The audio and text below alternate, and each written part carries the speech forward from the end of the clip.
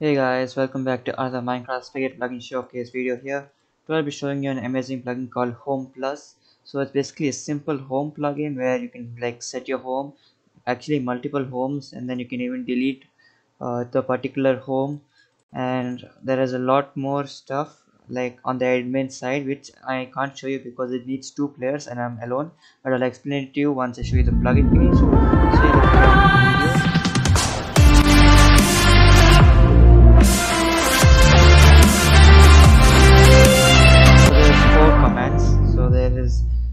set home and then there's homes and then there's delete home and then there's home and then the name of the home. So like i have one home here.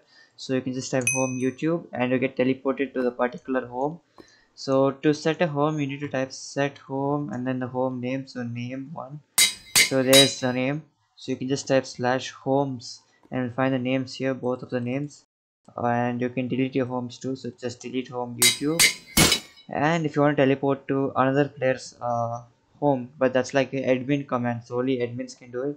So you need to type home of player name and the home name. So they need to be online i think because i just tried it with uh, my alt account which is supposed to be offline and it did not work. So i think that's supposed to work with only online players. So here's the plugin page. As you can see there are some commands over here. Uh, so you can check them out here and then there's even some permissions that you might want to give. So here's permission necessary permission for default commands. And then there's tires here. I think we can get into get more into it in the configuration part. And here's the permission which basically like a player can have infinite homes. And here's the permission for visiting other homes like admin command. Here's the cooldown permission. So basically like you can just remove the cooldown and here's the bypass. So if you want to add bypass to a certain player and the plugin is compatible with 1.8 to 1.20 so it's, it's a pretty new plugin actually. They even have a discord integration here and that too it's completely free. So let's get into the configuration part. So here's the configuration part. So here's the message.yml you can edit this to your likings or leave it as it is. Here's the data.yml you can just leave it as it is.